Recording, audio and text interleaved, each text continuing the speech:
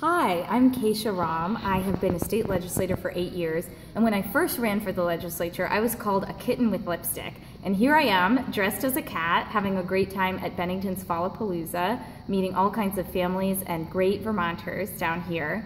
Um, and that's really why I want to be Lieutenant Governor of the state of Vermont. It's a really important position where you can be a connector in chief for Vermonters who have real needs right now, um, who are facing high costs of living and median in household income is going down. I really want to work on affordable homeownership, access to higher education, access to early childhood education, and everything that will help our state be strong and help families grow and uh, help young people stay in the state.